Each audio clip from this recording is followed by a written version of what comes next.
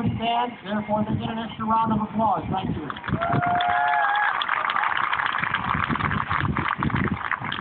We'll announce the winners in both contests in just a moment.